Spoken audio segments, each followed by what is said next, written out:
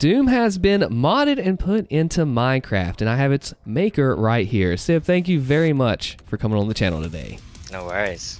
So I want to talk about how you put Doom into Minecraft, taking 2016 and Eternal's combat loop into a whole other game like this. How did you do it? Um, so I originally had the idea because I was playing through Doom 2016 when Eternal came out, and I was like, I wonder if I can make this in Minecraft because I originally made um, some adventure maps back in the day, like 2013, but they were a lot smaller scale. Um, and I knew that there was existing gun packs um, that other people had made in the community, um, and I went through and tried to program the Doom guns into Minecraft, and actually worked quite well. So I went from there. So you basically are taking, and, and I read a little bit about your mod here, the adventure map rather, and you took the combat loop and resource management and put that into Minecraft. So I'm not someone who has played Minecraft. So teach me a little bit how that worked. Um, so yeah, I wanted to copy the, well not really copy, but have the same gameplay loop of Doom, which is like um, moving around very quick. I gave the player speed because it's quite slow moving normally in Minecraft. Um, there's chainsaws where you where you get health and ammo. I use that as the replacement for the glory kill because it wasn't really feasible to make that in Minecraft because of all the different animations that I would have had to program and teleporting the player in the same spot. Just, it was just really tricky for me to do that. So I found that the chainsaw was a good compromise um, to use that. As well as prioritizing demons, I do have the Archvile in there. Um, and he's quite annoying. I've made him annoying on purpose, so he'll keep on summoning it, summoning in mobs um, if you don't get rid of him quick enough. You from Um, 1994 to now, he's he's still Yeah. doing it. So you you managed to make him summon just like an Eternal, right? Yes, I used an existing mob, and this is the whole thing around the, the mobs as well, the enemies, is I had to base them around the, the actual mobs in Minecraft, and I could tweak a little bit of their behavior, because there is an existing mob that summons in new enemies, but I just swapped them over to be zombies and imps instead. And you made them look like Um, it too, right? You gave them right, good yeah. looks. So so if a Doom So- player so if a Doom player would would come in and download when they face the Archvile, it'll feel just like Eternal. Essentially, yeah. Whoa, what about, you know, the Revenants and, and all those enemies? How the heavies and other super heavies go? Yeah, so the the Revenant is in there, and he's quite annoying as well with his missiles. Um, and if he gets too close, he gives you a fire um, fire damage that will shred your health and shield off. So they're quite annoying when they get up close. Um, what else is there? Cacodemons, you can actually shoot the grenade in their mouth, can't you? Yes, I wanted to add that. That Oh, that's a, too that was a good idea that someone suggested. Um, chucking a grenade in your in their mouth. So what That's happens? good idea. What happens when you do that? Since it's an eternal feature, essentially staggering is, how do you do this in a whole other game like Minecraft? The main challenge was Minecraft's limitations itself. So, whether it being um, player interaction, like detecting them right clicking, which is the way that I've got it to work with um, shooting the weapons, and throwing the grenade itself, the game detects that the player has interacted with it in the hotbar, and then it runs a bunch of commands and detects where you're looking to try and get the angle and the speed um, of the grenade. And then once it detects that the grenade entity is nearby the Cacodemon, then it will run the commands of making the gulp noise and then he dies. Oh, you have the gulp noise too. You've, you've been able to bring that over.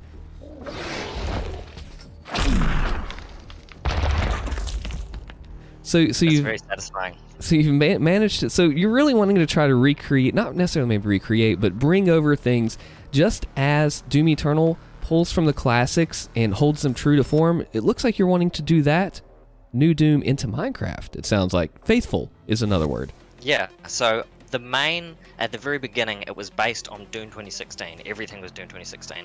And then when I actually bought and played through Eternal, there was all these cool things like we we're talking about the grenade with Cacodemon, and that gives that gives it a really good use for the grenade because the devs have talked about um, wanting to have a use for every single weapon, um, and I've tried to do the exact same as well. Like the the UAC pistol, which is in 2016, there's no pistol in Eternal, of course. The main use for that is just one-shot headshotting the um, fodder demons, the, the zombies that you can normally change for as well.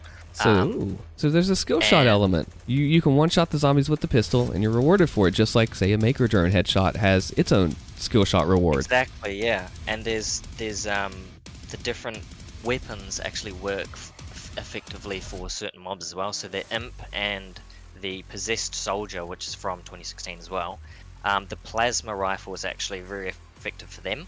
Like it will slow them down and like electrocute them. So it really and that's is. also all within the game as well. You can there's actually a codex in the game. I can send you a screenshot for that.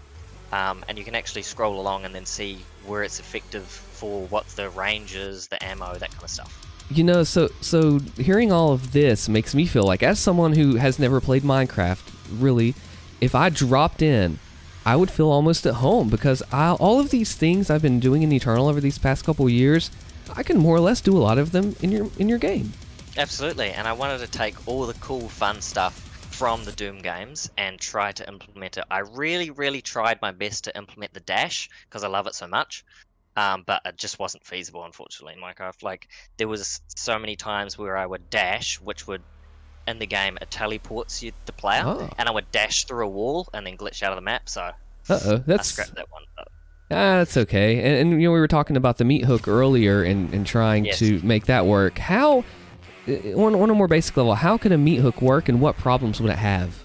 It would rely on teleportation commands, which is janky because of just how it looks. The frame rate isn't. When you're being teleported, the frame rate becomes staggered and it will only show you a maximum of 20 frames per, per second. Okay, Um, so not not a smooth experience, but that sounds more smooth. like a technical limitation. That's exactly right, yeah. Or something that if you did put in the game wouldn't wouldn't be the same fun zone because you're balancing it around everything that you have currently and all of the fun parts of the Doom games. Like the weapons we talked about, the BFG. You have one of those, don't you? Yes, exactly. So I got the BFG and there. He will instant shot everything that's not a boss. Um, so that's like the last. Um, if you're feeling panicked, just like the Doom games, you use it as a last resort, or if you want to clear through something really quick. Wow. So so where do you do you find the BFG ammo just on the ground or can you get it from enemies like in 2016? How did you balance around that to make it fun? Um, so of course you wouldn't pick up. You don't pick up the um, BFG ammo if you don't have the BFG. So that will um, that unlocks in the third level after you collect the BFG. And of course there's limited ammo as well because I didn't want the player spamming it. Exactly. Um, it is just ground items that you pick up. So how do you have so when you, when you're doing all this balancing and trying to keep it true to form to eternal, what about when it comes to the other weapons? Like how do you keep the shotgun still valuable w- after you get the super shotgun? John Romero has gone on record as stating that he wanted to keep all the weapons having a purpose. How do you do that? Yeah, so as I mentioned, the UAC pistol that's got infinite ammo and that's perfect for um, instant one-shotting the, the zombie fodder demons. The combat shotgun is different to the super shotgun because the combat shotgun has slightly more range and it only uses one shotgun ammo per shot. It does do less damage than the super shotgun, but if you can get up close and personal with the super shotgun, then it does quite a lot more damage. The chainsaw is the the main lifeline of the game. Like I mentioned, it's it replaces glory kills. So whenever you're really low health or you need ammo or both, you will run up to one of the fodder demons, which is a zombie or an imp, and then you cut him in half, get his drops, and then continue on. The Gauss cannon, I liked the Gauss cannon a little bit over the Went over the um, ballista? ballista. Yeah, just because of how it was easier to animate, and um, I'm probably biased because I played 2016 first and very much enjoyed it. Oh yeah, I, I Uh, did speedrunning 2016 and the Gauss I have I got to use it a lot. Oh yeah, I'm sure you did. Speedrunning, yeah, that's that's good fun. It's a plasma rifle, as I mentioned. It's perfect for the imps and the possessed soldiers. Those are the guys with the the red energy rifles. Yep. Um, you can basically shoot um, at them to electrocute them and slow them down, and then kill them quickly as well, much faster than the other guns most of the time. The rocket launcher, what Uh, about that one? You got to have it in, yeah, so in the I- Doom game. I didn't have the rocket launcher. Oh no. I actually ran out of I ran out of hot, hotbar slots because there's only nine hot hotbar slots in Minecraft. And the final weapon that you get in the last level is the Crucible, which has limited ammo and can one shot non-boss enemies, which includes those pesky archviles, and I must admit it is very satisfying chopping those guys with the crucible. I'm sure there's still the other weapons fill that void and it still feels good to play because of all the Yes, I tried to balancing. make it like that. You put a lot of care into this. You've been working on this for a while, haven't you? Yeah, so um, I started working on it on the gun pack at the very beginning in March 2020. Oh And wow. I've just been working on it in my spare time ever since. I've I've estimated that it's around 1,200 hours I probably spent on it. Man, that's see, you, you don't get to something and work on it that long without it being a passion project. Like you can't do that without some love for it, which you clearly like both games a lot.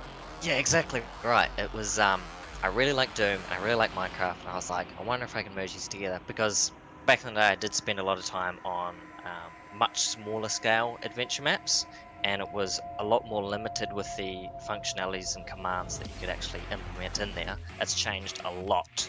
I think even too there there's got to be some sort of connection with Doom and Minecraft, right? I feel like that there. I could be wrong on this, and if I am wrong, someone please correct me in the comments. We have had uh, some Doom modders come from Minecraft, and Kaiser will, if you're watching this, please correct me on this if, if that's where you started. So how you find there is sort of a connection there? Maybe. I wouldn't like if you w- were thinking of Doom and Minecraft, you wouldn't think they would match at all. Um, the Archvile is very, very similar to the Evoker mob in Minecraft. Whereas if you get if you get close to him, then he will summon in more mobs, um, and you have to get rid of him as quick as possible. So I found that that was that was a good way to implement them. Now, of course, um, recently they got acquired by Microsoft, right? Yeah. Yeah, so they're owned by the same companies now, Nice. which is good. And, and speaking companies, you have been featured in Kotaku and PC Gamer, is that right? PCGamesN and Kotaku and PC Mag. Yes. Oh, nice. And and how many downloads have you had so far? Um, in less than 24 hours, it's at 366, which is pretty good. Oh yeah, and, and that's some big big news sites there that, that you got featured in, which was really neat. But yeah, that, I've noticed my um my trailer because they've been sharing the trailer on the website, which is perfect, exactly what I wanted. The um, views have been climbing up quite quickly. awesome. What sort of uh, struggles have you faced? I mean, you have all these good things working for you, the promotion from Kotaku and PC Gaming, and everything working in your favor. What's been tough? It's been really tough to do so far. And how have you come past that? Mainly just Minecraft itself, just the limitations, especially with um, the enemy AI. Like if you run a little bit too far away from it, then it will just completely lose you, and it, it kind of ruins the experience sometimes. I've tried in commands to extend it as far as possible for the for the um, mods to chase after you, and like I mentioned, detecting the player interaction. I was able to do it with right click with a certain item in Minecraft where it can detect it, um, so that's firing weapons. The double jump was actually it's kind of scuffed, but it's jump and crouch, and then it will make you jump. You have a double jump. That's- You did the double jump. That's right. Oh, I did do the too cool. you have to have that. Yeah, I, I don't know why I didn't mention that earlier. It slipped my mind. No, it's good. It's um, in level two you pick up the jump boots, um, and then Oh. there's like a tutorial, I guess, area to um, try and t- show you how to do it. Um, I had a bunch of my playtesters get stuck in that area as well. Oh, no. you just have to get used to it. How many levels are there? Speaking of, So there's four in four in total. There's the Mars level at the start, which is like the introduction. There's no bosses or anything. Level two, there is a boss, and it's like the UAC facility based on. Then level three, there's the Foundry. That's probably the biggest level, I'd think. There's lots of Gore Nests in that level and objectives. Um, there's a boss in that level as well. And level four is the Nether, which in Minecraft is essentially the same as Hell ah, which is what this um, the adventure map is based on. The name. That's where I tied it in. Now that you mention it, very um, nice. Nether and Hell essentially the same thing. yeah, yeah, I can see, I can see where that would come together. Even with the bosses too. I'm sure you have something set up in the final level. Spoiler alert: Yeah. the final boss is actually the Icon of Sin, Oh, um, and I had to custom custom implement that, like the 3D models, the behavior, and I actually implemented about 80 or 90 animations, like in stop motion style. You know, when you take a stop Yeah. motion video, you take a picture, move the thing, take a picture again. It's essentially stop motion, but I run it quickly, um, so it looks like a full animation.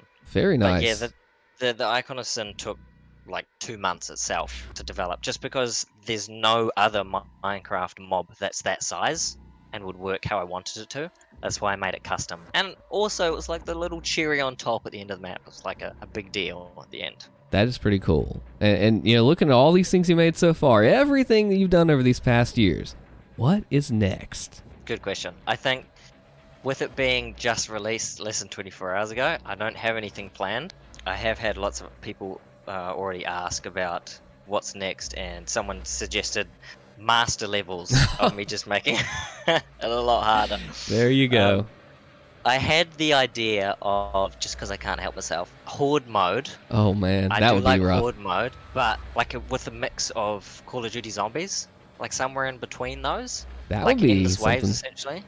But again, like I mentioned, the limited range of the Minecraft's AI would be the main problem, and I think ultimately it wouldn't work because of that issue. So let's say you run, I don't know, 30 blocks away, they'll just completely. Make it, yeah, it's limitations, system limitations. Yeah, that's exactly right. No worries. I think there's a lot that I'm, I'm very curious to see how this goes in the future, and I will put all of your links in the description of this video. So if you are interested in trying this out, check the description. It'll all be there. Thank you so much for coming on the channel today, and very curious to see what everybody says. Yes, thanks for having me. It's been great. All right, check the description. Thank you for watching.